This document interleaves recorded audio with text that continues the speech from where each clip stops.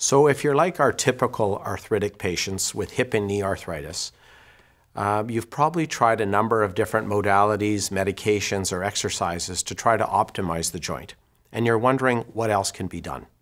Some of these modalities that have shown to have a significant effect on joint performance and reducing pain are things as simple as exercise, physiotherapy, the appropriate use of analgesics and anti-inflammatories, and other joint stabilization uh, methods or, uh, or techniques, including bracing for symptomatic unstable knees.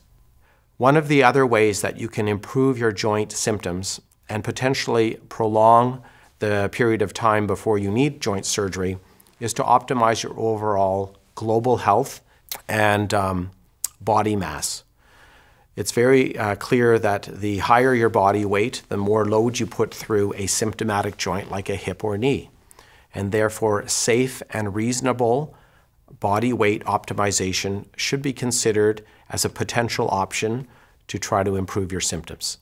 However, if there's arthritis on x-ray, it doesn't have to be severe, but severe enough to warrant consideration for joint replacement, we also would expect you to have a scope of symptoms that might include profound difficulties doing tasks of everyday living, um, sleep disruption, um, starting to really affect how you live your life.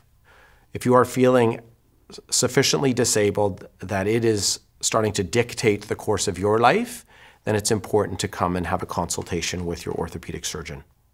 After you sign the informed consent that you want to go ahead with surgery, there's often a waiting time.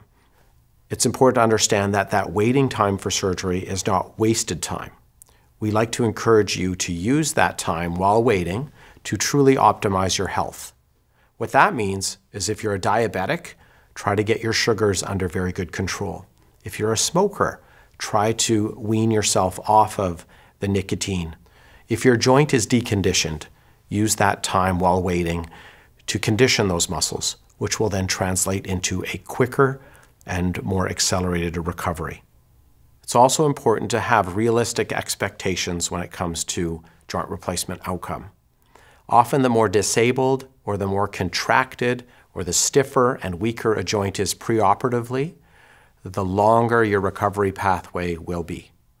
The best possible outcome often correlates with joints and patients that have taken the time and effort to really condition or prepare for the surgery and to really optimize those muscles that they will depend on in order to get the joint working well again afterwards.